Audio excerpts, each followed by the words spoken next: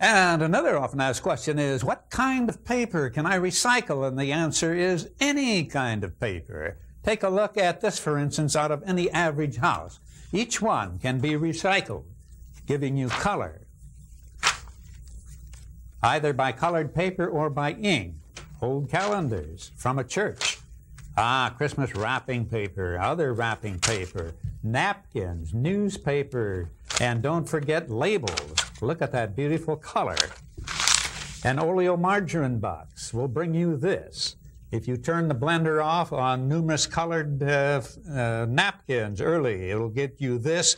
And believe it or not, the outer layer off of a facial tissue box will get you this. And above all, do not forget to use something as exciting like this with metallic ink, or if you really want an adventure, try this.